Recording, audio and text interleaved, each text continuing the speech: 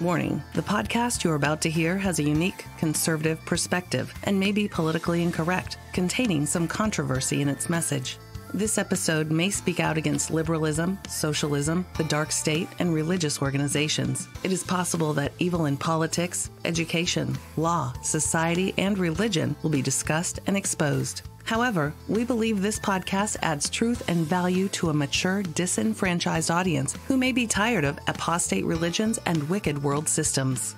Listeners who are easily offended, overly sensitive, or have progressive leanings sympathetic to the topics we expose should be forewarned not to listen any further. We thank both those who choose to listen as well as those who choose not to listen. You've been warned. And now, let us get on with the show. And now let us get on with the show. It is December 27th, 2019. That's correct. And you are listening to the Freedom Friday Hour contained within the Kapow Radio Show. So here's the deal we got some news stories to talk about. First, I want to talk about what's going on at fifthookmedia.com. Fifth Hook Media Okay, we took on a uh, a project called Spiritual Transformation Series. It's Pastor Dennis Lee from Living Waters Fellowship in Mesquite, Nevada. He's a he's a smart guy. He has a couple of a master's degree, one in theology, one in uh, divinity. He's been around a long time. Used to pastor he was the lead pastor in Las Vegas for many years at a uh, a big church called, I believe it was called Hallelujah Fellowship, if I remember correctly. Uh, before coming to Mesquite uh, several years ago, and the Living Waters Fellowship just moved into a new building. They continue to to grow at a decent pace, not not too not too big, not too much. They just uh, just um, moved into a new building there process of kind of getting it all together and stuff.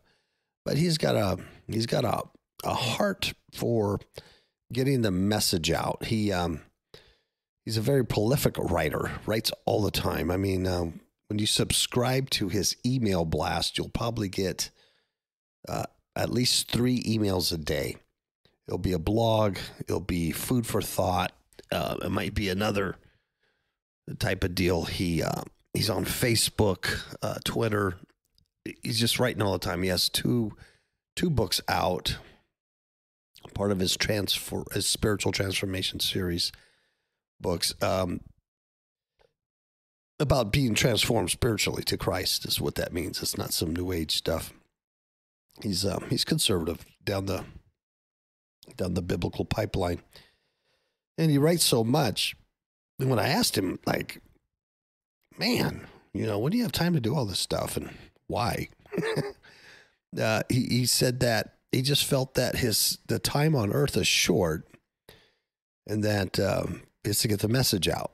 And uh, it just has an urgency to you know get the message out. And there's um, there's other pastors and ministers in Kenya Africa who uh, are really into Dennis. And they uh, they actually walk miles um, to a local library, to a, a, town, a local library, so they can access the internet and then look at his uh, notes and things. What he does is he he puts his sermons on the Living Waters uh, website, and he has the whole sermon, all his whole sermon notes, the whole bit are, are there as well as the audio. So anyway, he's um, he's really big on sharing. So uh, one day I'm sitting there and he's mentioning how he'd like to start a podcast and do this and do that. So after service, I went, well, I can do that for yeah. And so we, uh, we, that's what we did. So every day he puts out something on the spiritual transformation series. And, uh, and the thing is, is when he writes his blog, there are 333 words that's what he does. He goes 333. That's why he calls them the 333 uh, blogs. So when you put it in audio, it's less than five minutes with Uh, Miss Kapow does the introduction, and Miss Kapow does the ending. Uh, she does a commercial for his books, and then the um, basically his bio at the end. So when you put it all together, it's less than five minutes. So every day, if you get a little, um, like a devotion, three three devotions is what they are, and you get this every day. So it's just a little shot in the arm for breakfast. Of course, you can listen to it right on our site, Fifthook Media, on our Facebook page. You can go to fifthookmedia.com, and I have a player right there on the front page. Now, I, sometimes you know when you when you use the mobile phone, it goes to a, a mobile website that I can't get rid of. and um, but if if you land on that mobile site and it looks just kind of weird and cheesy, if you scroll down, it says desktop site. That's what you want. Of course, if you're on a computer, you know, go to your, the, the desktop site is what you want. So the the landing page of Fifthook Media will have a player, podcast player. So we'll have all his podcasts there. Also, if you just go to kapowradioshow.com, you can listen to all our shows and his uh, show. We have I have two players right there on the front of uh, kapowradioshow.com. And of course, like us, he's available on Spotify, iTunes, and all these other places also. So we just started this last week. I think he has five shows up. So if you get a chance, uh, listen to him. It's um, it's a good little devotion. I enjoy doing the the show for him, and um, you know the topics he does talk about. So that's that's about it. That's what I want to say. You know the the the new year's coming up, and so we're kind of retooling some things on uh, our Monday show. Uh, we're going to you know get back to biblical studies and studying God's word and things like that. Miss Kapow and I got um, we ordered his and hers systematic theology textbooks by Wayne Grudem. Uh, uh, Wayne Grudem is a Calvinist, but he's a very good teacher. I've heard him uh, speak on uh, YouTube and stuff like that, and I like him. I like his spirit. I like about him, though I don't uh, agree. I'm not a Calvinist, and I don't agree 100% with all of Calvinism um, you know, I I I take the meat, spit out the bones. Okay, because the rest of it is real good stuff like that. So when it comes to hard the hardcore Calvinistic viewpoint, I I won't teach that. But um, when it comes to systematic theology and gathering doctrines throughout the whole Bible and putting that together, that's going to be really good. In fact, we um, we started looking at justification and um, adoption, things like that. And it really, really, I don't know. It's good. It's stuff you know or you should know, but it really opens up your your mind to things uh, when you read it, you know, in its entirety. So that's some things that are coming up, and that those should be coming up on the uh, the Monday show uh, here pretty soon. So without further ado, let's uh, talk about some news here. What's going on here? I got a story here from uh, Newsweek. I thought this was interesting is because everybody's offended nowadays. Everybody has prejudice against them, whether um, it's racial prejudice or gender prejudice, sipping coffee prejudice. Uh, everybody's offended.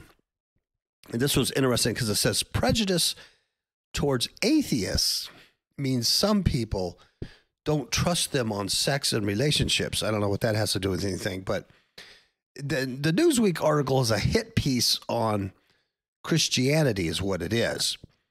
Because uh, the only ones that seem to be prejudiced towards atheists are non-atheists, is what the article's saying. Uh, which my personal experience is is just not true. My personal experience is um, I have uh, neighbors that I love dearly who are atheists, and I love these folks dearly. I mean, I really do. Um, they're a hoot. I think they're great people. They're beautiful people. They're just uh, they're blinded by the God of this world, and uh, we pray for them, and we've uh, told them the gospel. They know our stance, and I just pray that someday they will uh, have their eyes opened and they will see uh, what they need for salvation. But there's no prejudice against those people. I've also have posted articles in the past and stuff about atheists, and had some of our listeners actually, you know, uh, say we need to pray for these folks, or they they've known people in their lives that were atheists, and they need prayer because they do because they are blinded by the god of this world. So anyway, it is a hit piece against Christianity. Um, and that's that's why I find it interesting. It says there was an ad featuring Ron Reagan. Now he's the son of former President Ronald Reagan. And there was an ad that showed on one of the Democratic primary debates.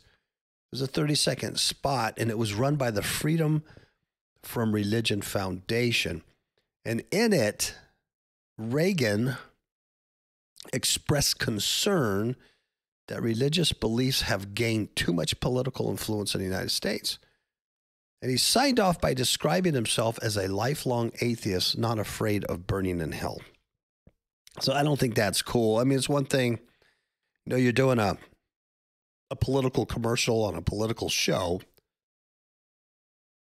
and you have an organization called Freedom from Religious or Freedom from Religion Foundation. I could dig it, but do you have to sign off as quote quote I'm a lifelong atheist, not afraid of burning in hell, and that's why I, I feel sorry for Mr. Reagan here because he is blinded. He is is truly blinded by the god of this world, which is uh, Lucifer, Satan. And um, that kind of blind activity is not just uh, that's that's eternal. That's the very thing he says. I'm not afraid of burning in hell. Is the very thing that can uh, eternally torment him, and uh, I'd hate to see that happen to this man.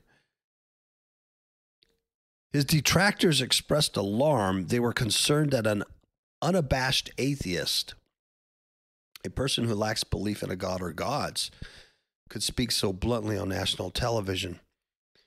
The ad inspired some strong reactions, with some major networks even banning it from the airwaves.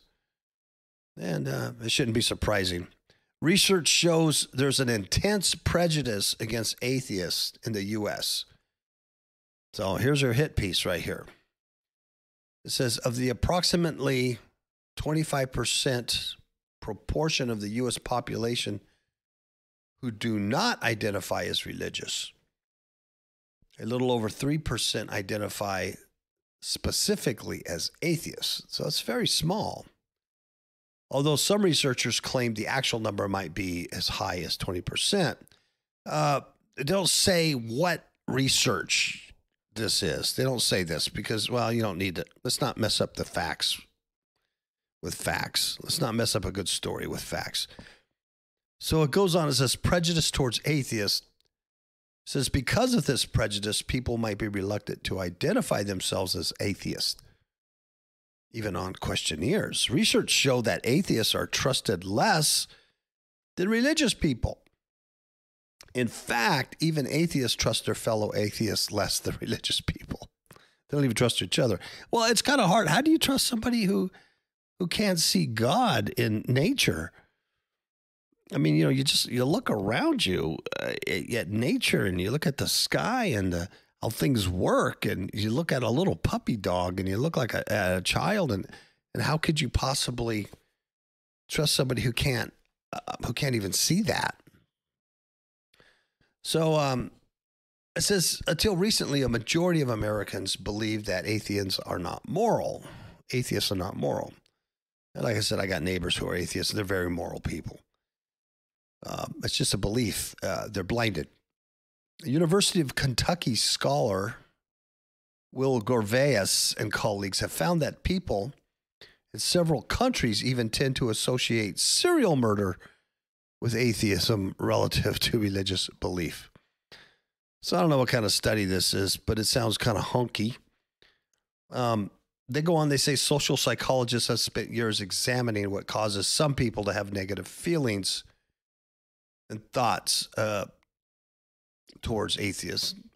Some some work argues, for example, that atheists are disliked because they remind religious believers of their inevitable mortality. I don't think so. I mean, if you if you're if you're a biblical Christian, um, what you want is is your eternal life. You know you're not a citizen here. You know you don't belong here.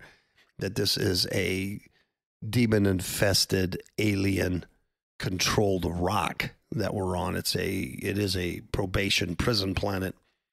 And we are to do the job we are to do while we're down here, the work of the Lord that He has us to do. But this is in our home.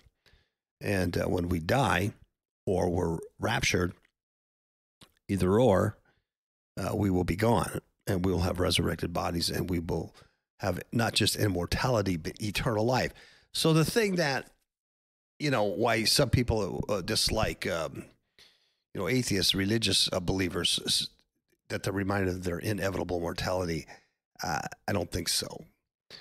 Uh, what they, they explain is that atheists deny the existence of an afterlife. And that's a shame because every culture uh, every culture, you go back in history and you look at any Indian culture or African culture, Chinese culture, Egyptian culture, Middle East culture, I mean, on and on and on throughout history, they believe in an afterlife. It's, it's part of, it's part of the human nature. God has put a, an eternity into every human's heart. There's a yearning and a questioning. That's why they can look at nature and see the Godhead.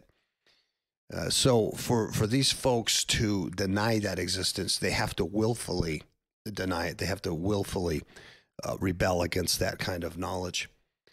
So anyway, when reminded of death, this theory suggests religious people respond with increased prejudice towards atheists. I don't I don't see how that can, how that can be, but anyway, this let's not let the facts get in the way of a good good hit piece.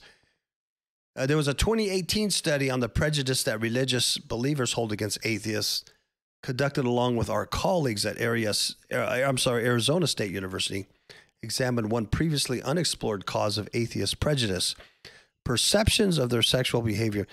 So anyway, it, it, this thing goes on and on, and it's just hitting the heck out of, you know, non-atheists thinking that atheists are, you know, gorillas in a cage or something like that. And I just I just don't see that. Um, in fact, there's one commenter on here, one, one, one comment on this, and they said, I suggest that your research should focus more on how people respond to things like con games. You will find that none of it has to make any real sense as long as you believe. Um, it's an interesting article because of what they're trying to what what they're trying to promote here. Now we got atheists who are now victims. Uh, people dislike atheists apparently, and the only ones that dislike atheists are religious people. So they're they're the bad guys. In fact, this all these stories here this week are about religious people, or specifically Christianity, being bad guys. Uh, Pete Buttigieg, Buttigieg, the butt monster. He faced criticism for calling Jesus a refugee. So apparently he needs some theological training. But this is what it is. This guy's a um, wannabe politician. So he's going to use everything in his power to uh, make things politically related to his political agenda. That's all. That's all this is. It's not a big deal.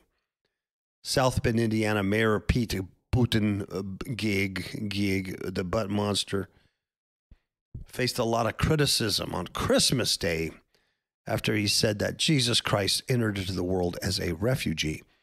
So he apparently he tweeted this in quotes. He said, "Today I join millions around the world in celebrating the arrival of divinity on earth, who came into this world not in riches but in poverty, not as a citizen but as a refugee."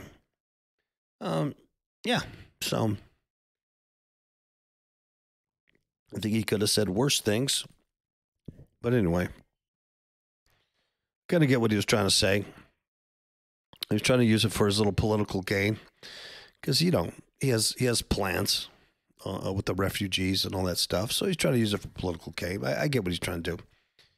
His um his tweet came just days after 2020 presidential candidate.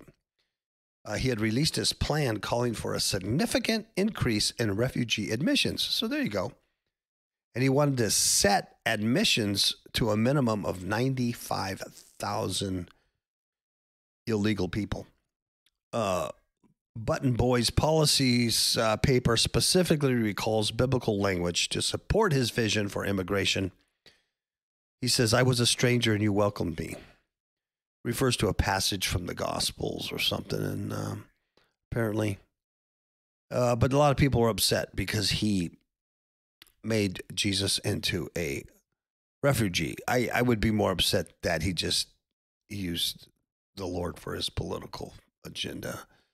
It's just uh, typical, typical, typical, typical. New York Post.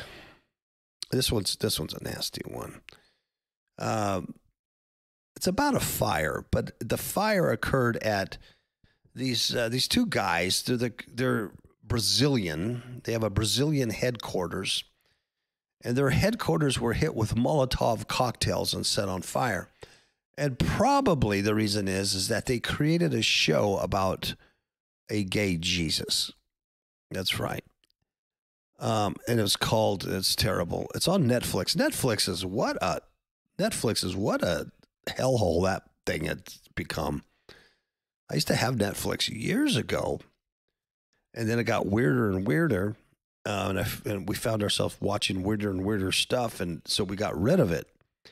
And uh, now, boy, I'm telling you, what a pit of hell uh, these things are. Hey, if you got nothing to do at night, I would say uh, instead of watching TV, uh, don't you read God's word? It's it's just going to be more beneficial. I'm telling you. You'll be more intelligent. You'll be brighter. You'll see things the way they are. Um, plus, you'll do something for your own eternal life. It's really good stuff. Uh, instead of watching stuff like this, God, I hope no one watches this. It's called The First Temptation of Christ. It's a comedy. Uh, apparently, it's a, um, a Brazilian comedy group in Rio de Janeiro. Apparently, they got bombed on Christmas Eve. It was just weeks after the group launched a film on Netflix depicting Jesus as gay. They had a Christmas special called The First Temptation of Christ. And um, in 46 minutes, of their so called comedy, they portrayed Jesus bringing home his presumed boyfriend to Orlando to meet the Holy Family. And it prompted about 2 million people to sign a petition calling on the streaming service to remove the show because it offended Christians.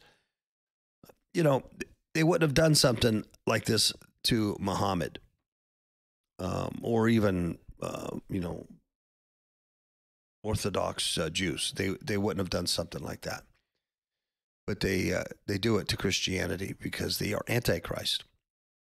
And like I posted on the Facebook page, you know, these people don't so much hate Jesus as they fear him. They fear him. They don't hate him. They fear him. That's why they mock because they're afraid. The demons in them are afraid. They know who Jesus is and they tremble. Anyway, the sketch uh, group said that a security guard managed to contain the fire at its headquarters and no one was hurt. The police in uh, Rio de Janeiro did not immediately respond for requests uh, for comments, and Netflix declined to comment. But on Christmas Eve in early morning hours, the building was attacked by Molotov cocktails. And um,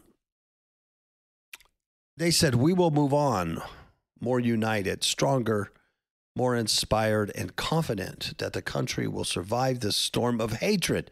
See, now it's hatred because because they took our our religion, they took um, something precious to us, uh, our Messiah, our Savior, and made fun of him and besmeared him and made him a homosexual. And then when they get uh, a Molotov cocktail thrown at their building, set on fire. Now that's hatred. That's hatred. See, That what they did is not hatred. What what other people do is hatred. So they're confident they'll survive the storm of hatred and that love will prevail alongside freedom of speech. So obviously they don't know what love is as far as agape love, uh, or they wouldn't have done such a show. Anyway, uh, let's see here. Brazil is home of the of, to the world's largest Catholic community. It's a fast expanding evangelical community as well. And they have a lot of political influence. The president, Bolsonaro, he described himself as a proud homophobe. He once told an interviewer he would rather have a dead son than a gay son. Earlier this year, he suspended funding for a series of films, including a handful of LGBTQ themes. And of course, the federal court struck that decision down. Uh, his son, Eduardo Bolsonaro, he called the Christmas special garbage, saying filmmakers do not represent Brazilian society. Anyway, another hit piece, obviously. Uh, that's by the New York Post, a hit piece. So let's take a quick uh, commercial break. We'll be back with the rest of the story, so hang in there. Recently, spiritual attacks on innocent people have increased considerably. This is partly due to society's transformation into a satanic cult. Most people are clueless or hopeless in combating this spiritual mayhem. We wish to offer two good books to overcome these attacks. First, Demons in My Marriage Bed, a true story of spiritual warfare, offers one of the most effective training systems in combating spiritual darkness in order to gain personal freedom. Second, Eyes to See Unseen Enemies teaches how to see the hidden dangers which are all around us, even in places we would least expect them. Both books can be purchased on Amazon.com as a paperback or ebook. It is our desire that you will take advantage of these opportunities to increase your effectiveness in spiritual warfare and learn how to fight back instead of being a victim. We'll see you on the battlefield. Okay, we're back. Let's see here. This is interesting. I have, um, as we end 2019, this is from um, Axios. It's the insane news cycles of 2019. It's a chart. Obviously, you can't see it. Um, and in the chart, they have a height uh, is a search interest in a given topic, indexed to 100. Uh, so in this chart, every time they have a little mountain peak, there's big interest. In, I mean, huge spikes of interest. And then it's colored, and the colored is the average search interest between December 30th, 2018 to December 20th, 2019. And uh, let me let me read just some of the headlines here. We'll go uh, for the beginning here. I mean, huge spikes in the news. They're insane news cycles. And when I read the uh, the titles here, what I want you to take notice of is is no one is searching in the news. There's no spikes about eternal life or heaven or hell or the end of the age or or the return of Christ or you know there's nothing like that. This is all just a, a lot of demonic distraction. It's the god of the world blinding people and you could you could you could tell by the by the headlines. There's nothing here of any significance that you as a believer uh, would put any well, any trust in or any, uh, you know, too much too much thought into it. Uh, the the number one is government shutdown, and then you had Mexico-U.S. border problems, Green New Deal, blackface, that was huge. North Korea, the summit, Boeing 737, Brexit, Israel, SpaceX, Game of Thrones, huge spikes on that. Venezuela, IPO, China-U.S. trade war, Iran, Robert Mueller, mass shootings, Hong Kong, Jeffrey Epstein, recession, Hurricane Dorian, Ukraine plus Donald Trump, big spike, spike there. Greta Thunberg, are you serious? Huge. Syria, Turkey and Kurds, General Motors strike, Mark Zuckerberg, California and fires, um, 2020 presidential election, Baby Yoda, and impeachment. Nothing there about God, nothing about eternal life, nothing about there. How do I, um, how do I get out of this mess? How do I help myself and other people I love? Nothing, nothing, nothing, nothing. Because the news creates its own cycles and it creates its own news, right? So I mean, you can see the world here. What a mess. Uh, I would hate to just be like locked into any of these titles, thinking it's real and serious and affected my life. The year started with a record breaking government shutdowns, ending with a third presidential impeachment in U.S. history, between an onslaught of investigations, conspiracy scandals, and memes. Why it matters. The chart based on search trends compiled by Google News Lab highlights how short the public's attention span was as the media darted from one big thing to another. It, that's what it's like a reality show. It's just like a it's like a sitcom, not a sitcom, but a soap opera, man. It just goes from one tragedy to a next tragedy to one story, one event to next event. It's just a it's just a big show, big distraction. Unbelievable. Uh, in the era of President Trump and social media, surges of Google interest in the biggest events of the year only lasted about a week before the public's attention was drawn somewhere else. They don't remember, they don't care. Just a week. Some issues, such as the 2020 election and the Mexico US border, drew more steady attention, but fewer of the dramatic spikes of interest that other topics had.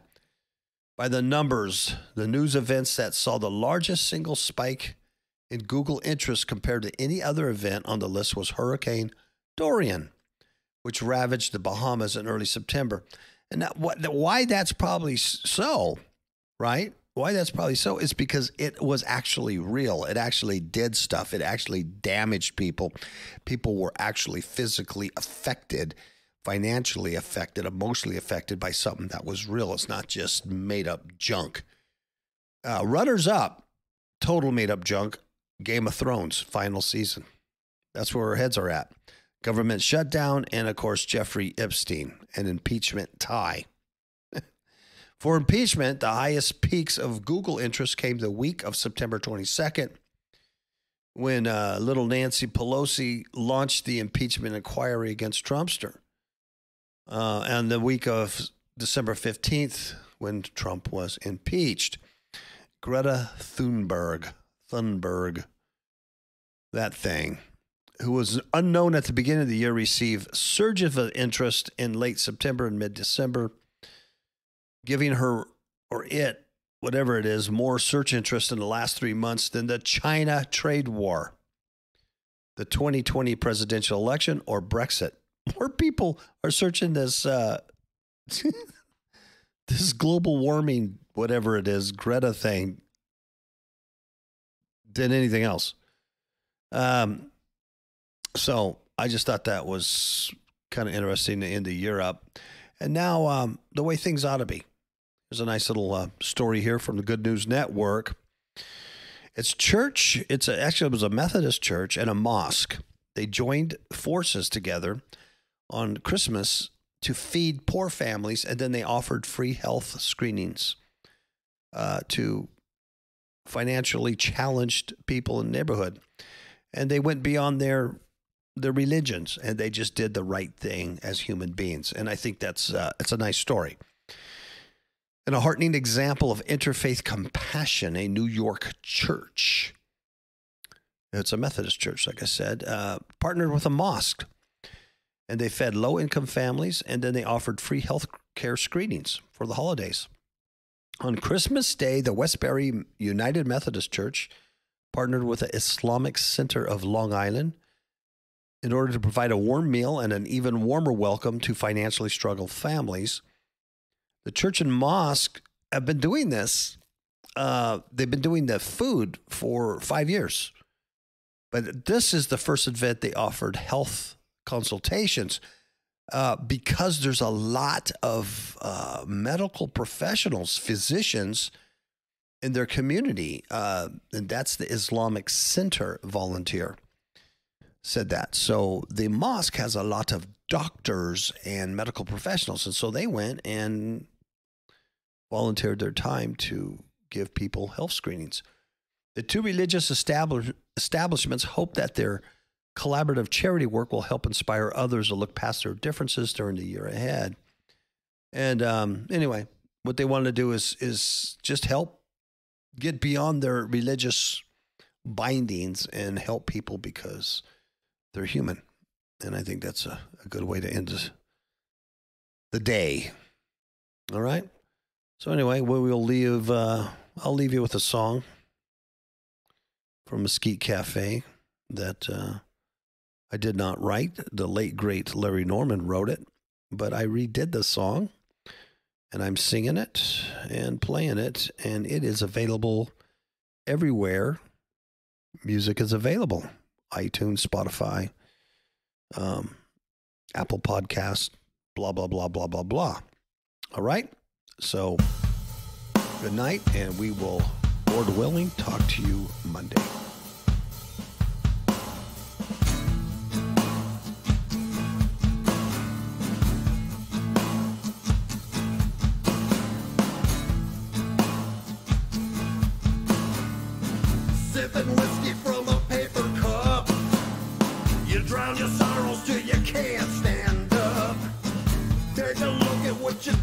Yourself. Why don't you put the bottle back on the shelf? Yellow finger from your cigarette. Your hands are shaking while your body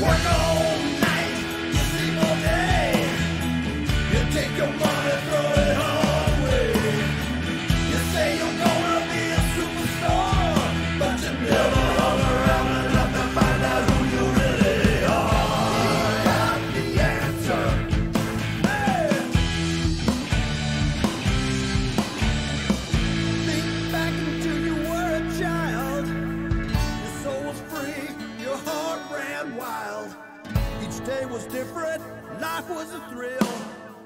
You knew tomorrow would be better still. Things have changed, you're much older now. If you're unhappy and you don't know how, why don't you look